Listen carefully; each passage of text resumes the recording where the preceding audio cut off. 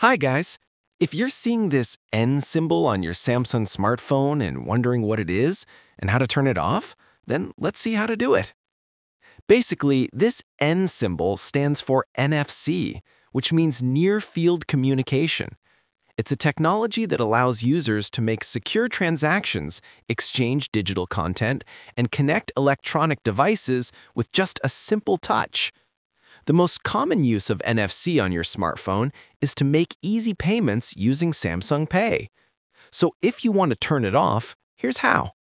First, open Settings. Now tap on Connections. Here you'll see an option called NFC and contactless payments. Tap on it. You can see that NFC is currently enabled. If you tap on the contactless payments option, you'll notice Samsung Pay is set for contactless payments. To remove the N symbol from the top of your screen, simply go back and disable the NFC and contactless payments option. And that's it.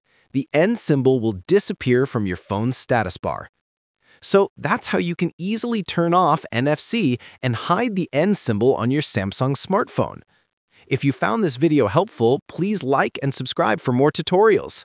Feel free to reach out if you encounter any issues during the process. If this video helps you out, please leave a like and subscribe. Comment below if you have any questions. If you need further assistance, consider hiring a professional using the link in this video below.